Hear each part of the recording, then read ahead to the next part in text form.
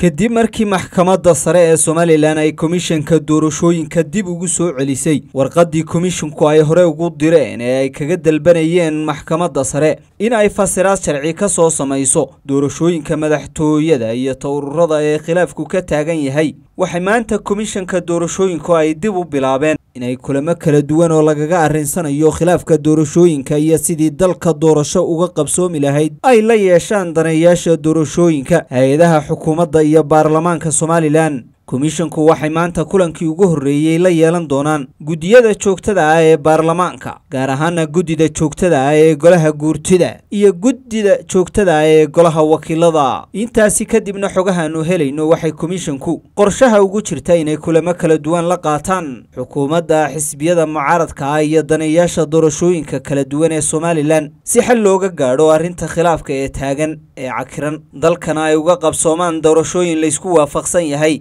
khilaaf muran iyo dhibaato kalena aanay uga dhalanin. Doorashada ay komishanku ku dhawaaqayaan inkastoo komishanku ay xeer u hayaan doorashada madaxtooyada. Doorashada ururada ee murankeedu taagan yahayna ma jiro xeer toos ah oo sheegaya qaabka loo gelayo doorashada ururada. Maadaama aanay hore somalilan aanay uga dhicin doorasho ururo oo toos ah haddii ay komishanka doorashooyinku go'aansadaan inay qabtaan doorasho isku sidkan oo ah madaxtooyada iyo ururada waxay noqonaysaa in xarunta baarlamaanka waa guurtida iyo wakiilada e laga dhammaystiro xeerka doorashada ururada islamarkaasna laga heshiiyo qaabka loo gelayo doorasho isku lamaan. Waana sida ugu dhow ay dad badani oo dorosayaan inay labada dhinacba ku qanci karaan. Haddii labada doorasho ee kale ee muranku ka taagan yahay midkood la qaatana waa in miiska wadahadalka la isugu yimaado oo laga heshiiyo talagelayo